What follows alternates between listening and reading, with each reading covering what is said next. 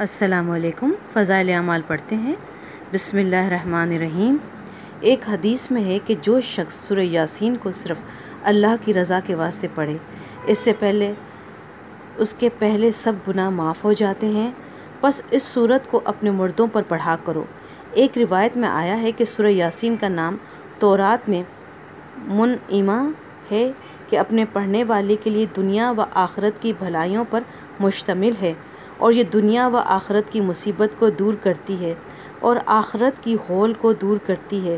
اس صورت کا نام رافعہ خافضہ بھی ہے یعنی مومنوں کے رتبے بلند کرنے والی اور کافروں کو پست کرنے والی اور کافروں کو پست کرنے والی۔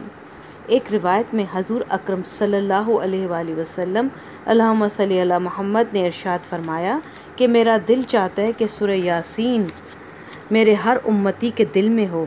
ایک روایت میں ہے کہ جس نے سورہ یاسین کو ہر رات میں پڑھا، پھر مر گیا تو شہید مرا۔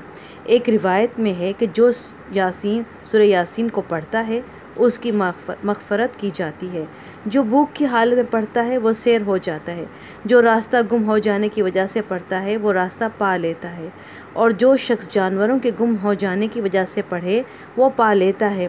اور جو ایسی حالت میں پڑھے کہ کھانا کم ہو جانے کا خوف ہو تو کھانا، تو وہ کھانا کافی ہو جاتا ہے۔